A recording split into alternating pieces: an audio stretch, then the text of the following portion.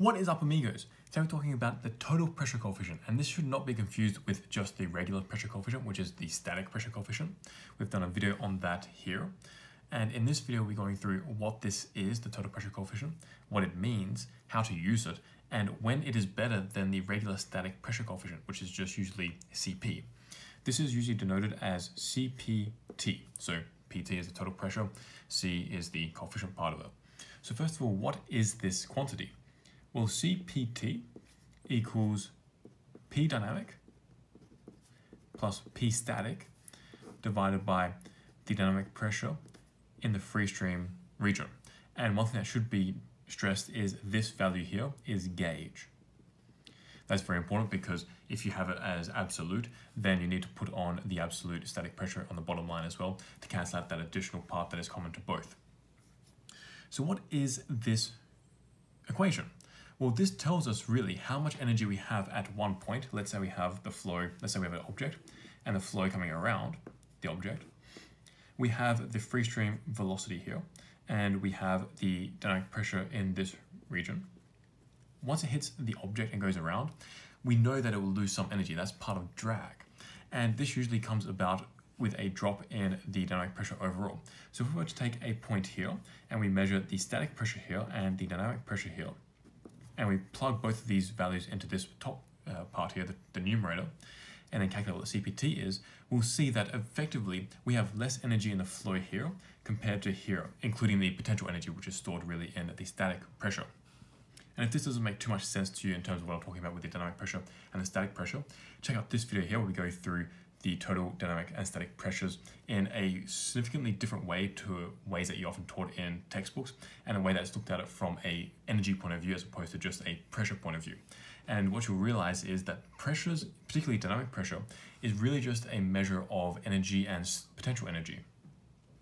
So coming back to this equation here, what we have effectively on the top line is how much energy in the system we have at this point and this point here is really how much energy we have in the free stream region.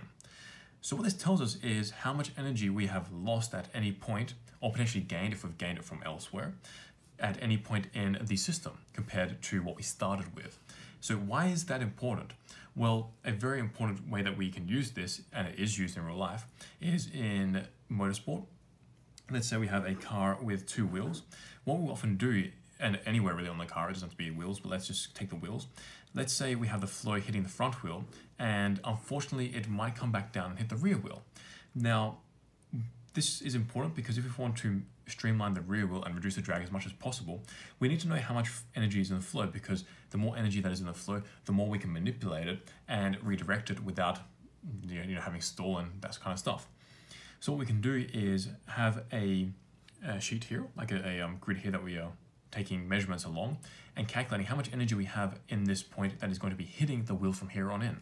And we use the total pressure coefficient to determine that. We take measurements of the static pressure and the dynamic pressure, and we figure out what the dynamic pressure is upstream in the free stream region, and then we can figure out how much energy we have lost because of this front wheel that is then resulting in the rear wheel seeing less energy in the flow effectively. So from a drag point of view, this is very powerful literally what it means is if you just look at the total pressure coefficient anywhere in the flow, you can get a pretty good idea as to how much energy you've lost and hence how much drag you have incurred. And this is where this is different and better to the static pressure coefficient, which if you haven't seen this video, check out the video that we linked in the very start of this video.